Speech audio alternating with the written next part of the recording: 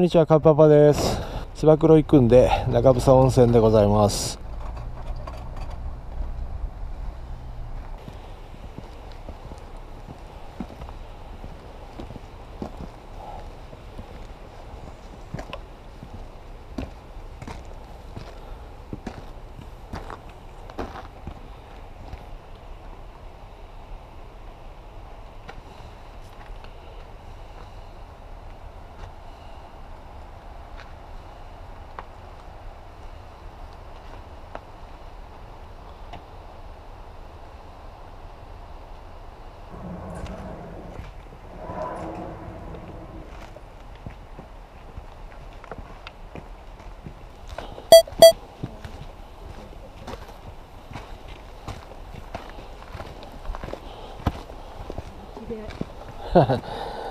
1年ぶりですね。去年はね、6月の10日、えー同じ金曜日に登ったと思うんですけど、その時あの、宇都宮から高速すっ飛ばしてきたんで、まあ、ほぼ休みなしで登ったこともあってですね、あとね、天白装備ということもあって、まあ、えらい時間かかっちゃったんですけど、まあ、今日も大して時間は変わんないと思うんですが、全泊してソースカツ丼食った分、まあ楽だと思うんで、まあただ、こっからキュートが始まるから、それでもゆったり乗ったり、歩いていきたいと思います。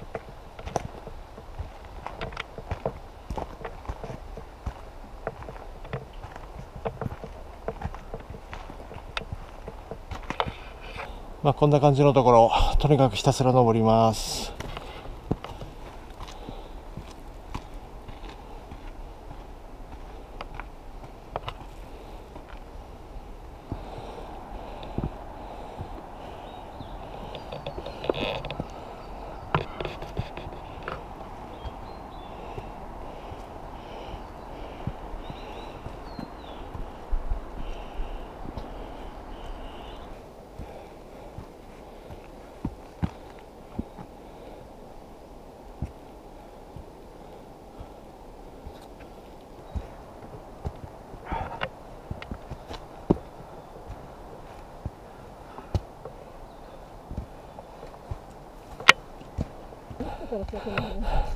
ボーナスステージ下り。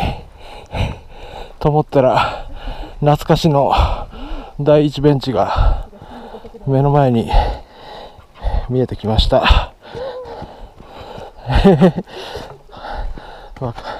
気持ちはわかるよ。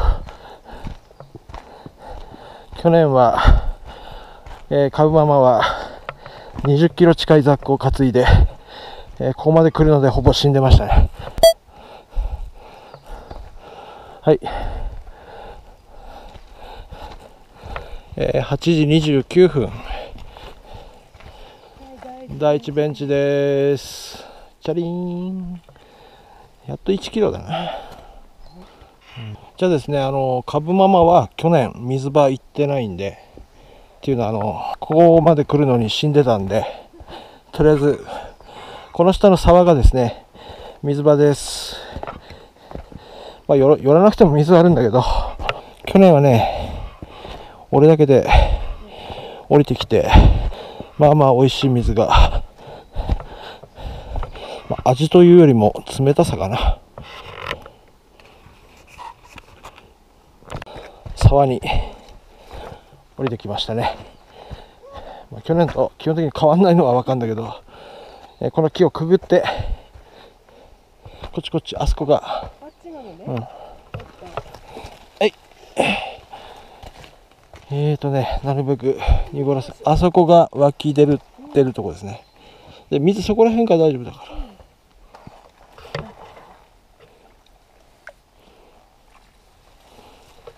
気持ちいい。うん自然の味。本当俺も。あ、虫がいっぱい入ってきた。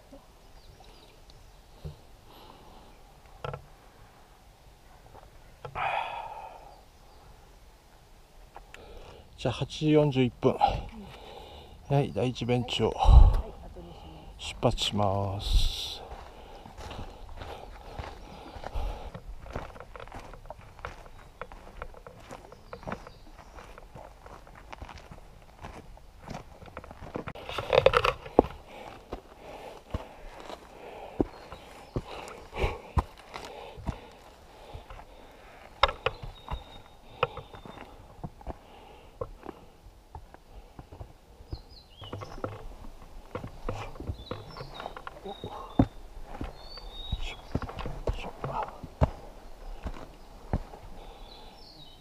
登ってきたな。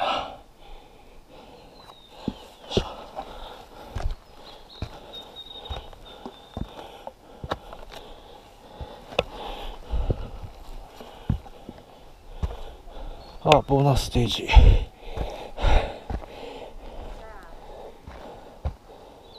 下から、おばやんの声が。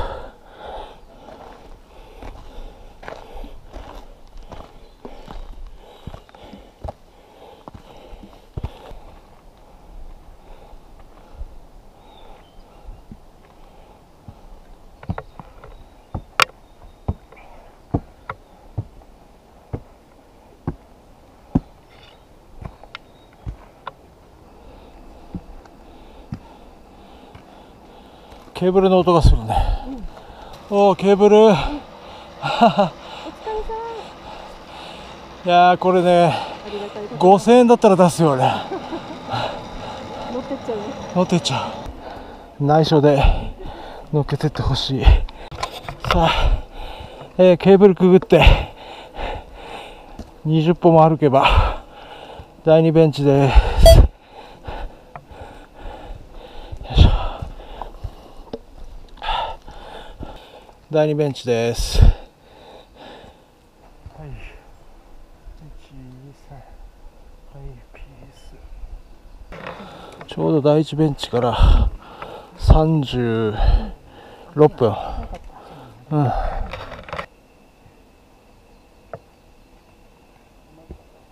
25分、第2ベンチ出発です。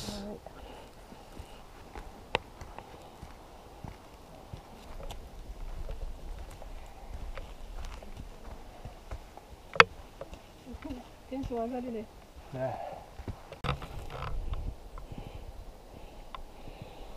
第2ベンチ出てもう23分はこのあの木の根がぐーっと生い茂るですね。尾根を歩く歩いて一旦こんな感じで下ります。だからすごく足取り軽くて距離稼げるんでいいんですけどこっからぐっとまた登り返してきついんで。まあ今のうちね距離を稼ごうか、あとさっき第2ベンチにね10分ぐらいいた時になんか結構いろんなえーまあ多分ご夫婦の方かそんな感じの人がに2組3組ぐらいまあ円山荘に泊まるなんて言ってましたね。まあ、そんな感じで円山荘は結構今日割と混んでるんかもしんない。個室は全部埋まってるって言ってたから。うん。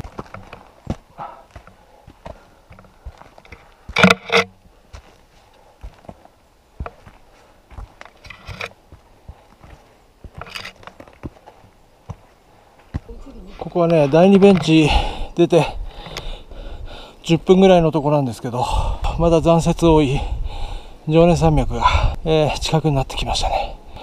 まあ、ここからよく見えない、でも気持ちがね、盛り上がってきました。今ね、9時53分、えー第2ベンチ登り始めて、約25分ぐらいかな。だんだんね、やっぱり、花崗岩の割合が多くなってきてますね。あの、ジャリジャリになってるし、あ遠くにね、あっちが安曇野の方ですよね。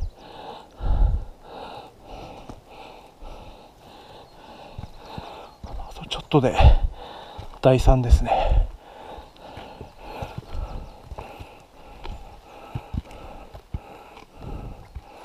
おおおお。晴れてよか常年山脈だね。あっちは蝶だよね。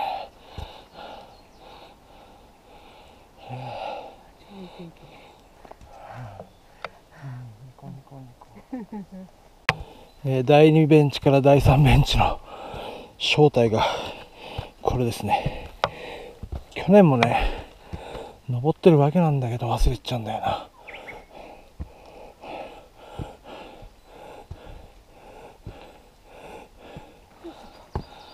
いよいよ。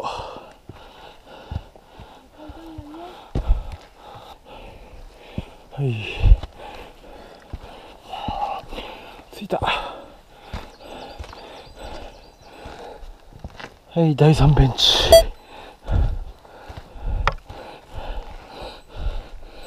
10時5分。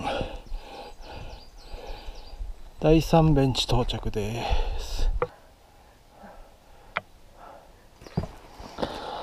去年もね第3ベンチねこんな時間だったんだよ。人の記憶ってね当てにならないんだけど特に自分の記憶ほど当てにならないものはないんだけど去年もねもちろんここ来てんだけどちょうど半分なんですね。演山層2 8キロ。多分合戦小屋まであと1時間ぐらいかな。なんか演山層の Facebook のページ見たらでこの辺はすごい雪だっていう話だったんだけどかけらもないね。まあそれはそれでいいんだけど背中の愛線がクソ重くって参ってね。では10時10分、第3ベンチ出発です。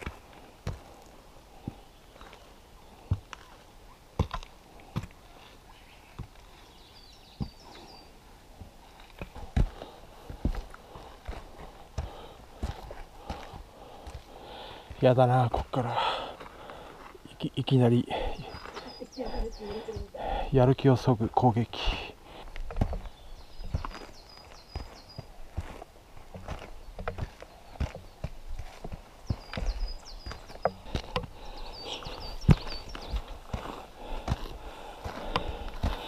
花崗岩ゾーンだね。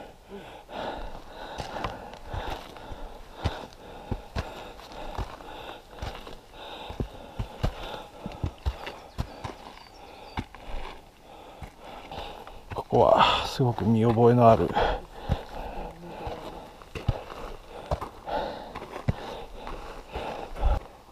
虫いるな。こんな去年よりめちゃくちゃ多いな。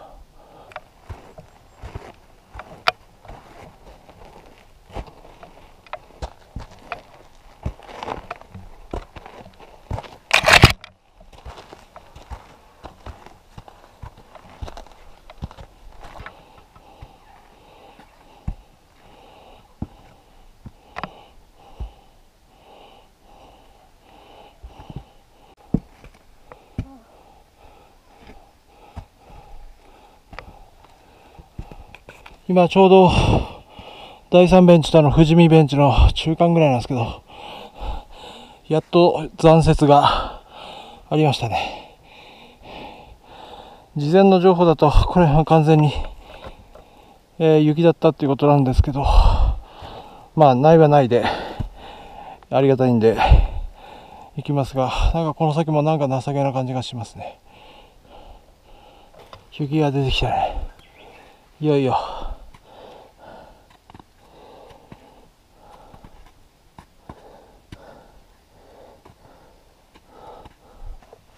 ステップがついてる。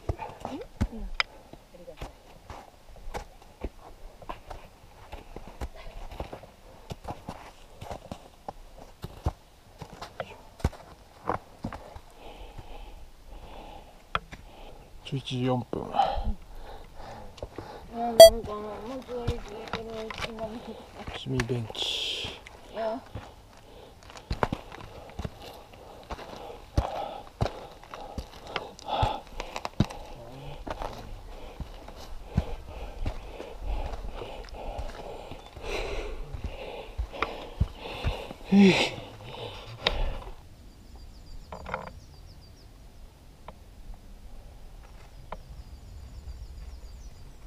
疲れた時は酸っぱいの。うんガキの頃からよっちゃんがいいです。あこれカットよっちゃんだね。食べやすいのうん、うん、よっちゃんイカの匂いにうん。ハムシがいっぱい集まって。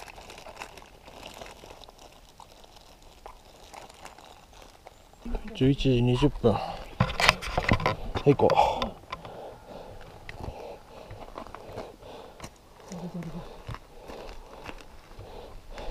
婦人ベンチを出ます。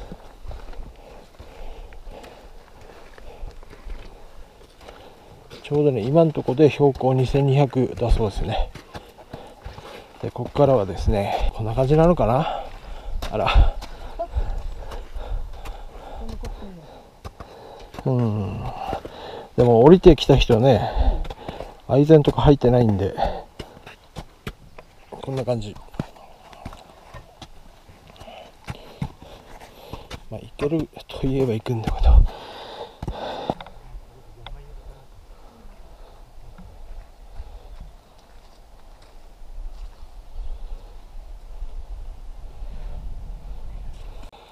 ここはハムシがねごいとこなんだよね。でも後ろはねまあ常年山脈の、えーご一等様がドーンと見えてますね。さあ登っかい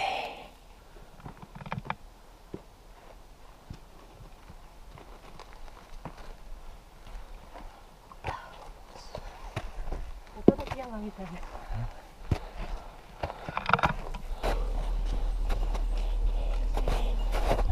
いや踏み抜いちゃった。い。てはあ。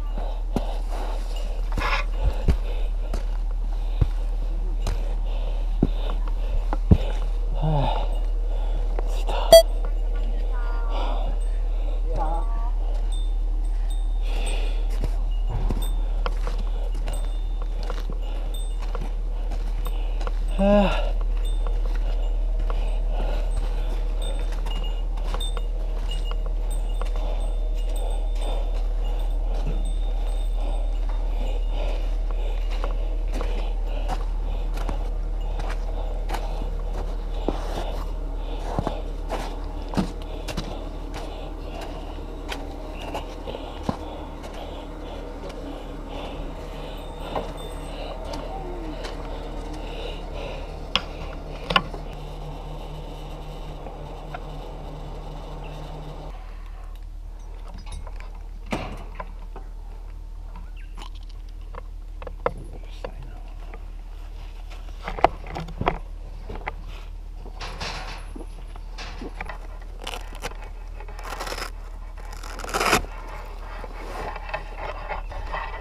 12時47分、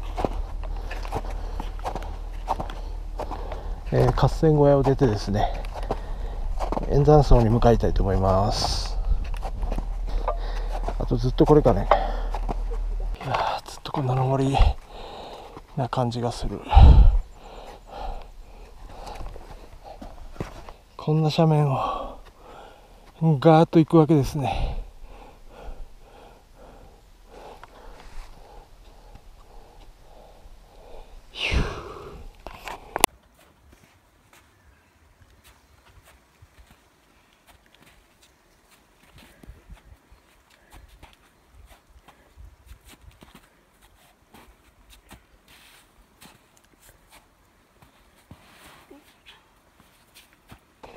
え、合戦会から急登上がってきて。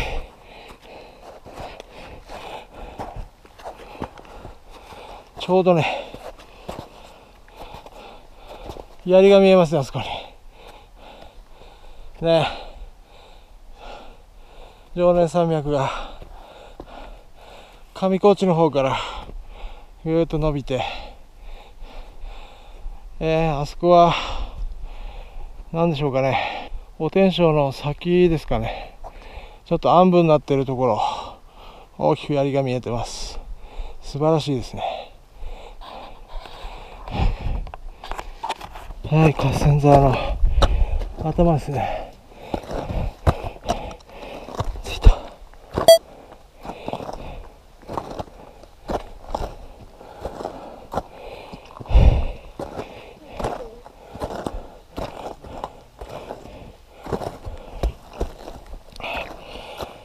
高さ。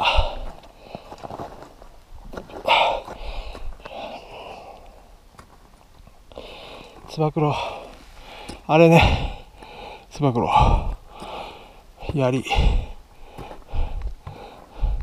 常年三角線です。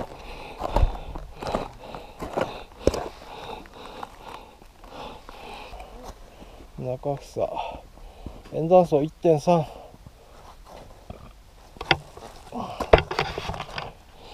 この設計をぐーっと登ってまあ上の方ちょっとどういうルートかあれだけど多分雪の時こう回ってくるんですよね。で演山層じゃあつば九郎ですね。分かりやすい。いやーすごい。天気。暑くて。暑くても。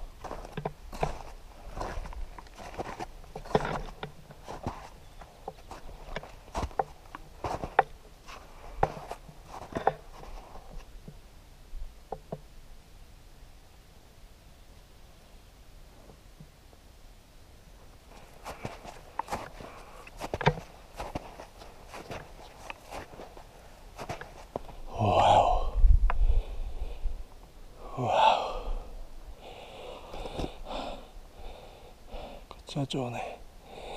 素晴らしい。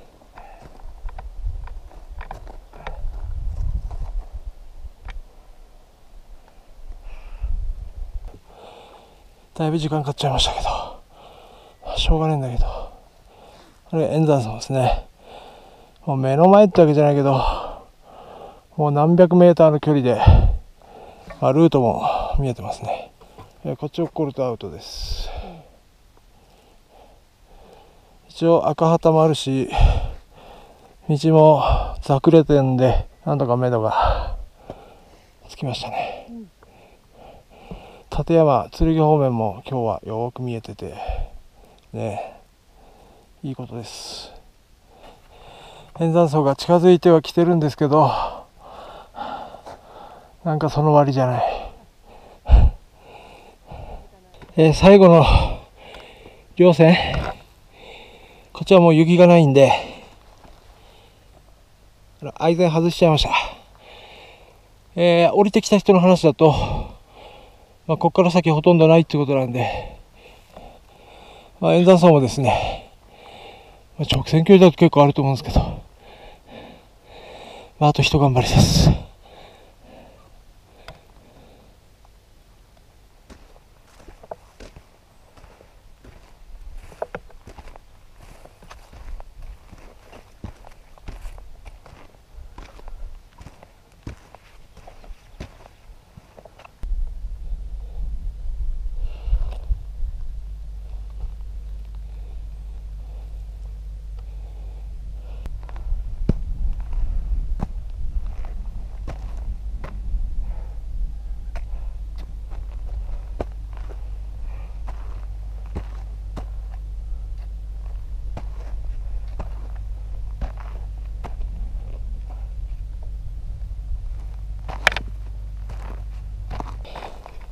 表銀座からですね、槍があんなでっかく、どうせカメラじゃちっちゃいんでしょうけど、でかいっす。半端ねえな。去年もね、雪残ってとはいたんだけど、こんなじゃない。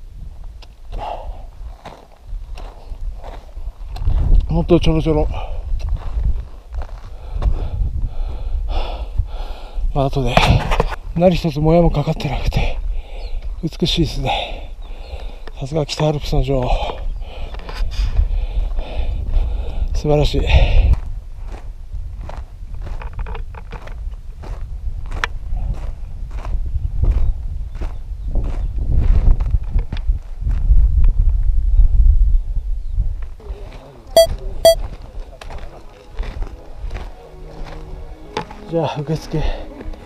やっちゃ3時44分。